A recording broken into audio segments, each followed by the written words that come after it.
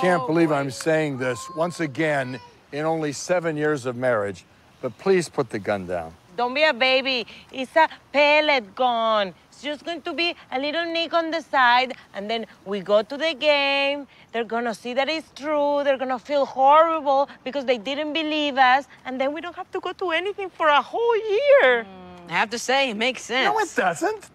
Why don't I just bandage my foot up and limp on in there? No, no, no, no, no, no, no. It has to be real because if they catch us faking it, it's going to be worse. Please don't point the gun at me. Okay, all right, all right. You heard my dad. Put the gun away. We just, we'll have to think of something else. Oh. What to do? Shoot, shoot, shoot. Okay, I put the gun away. Oh. oh!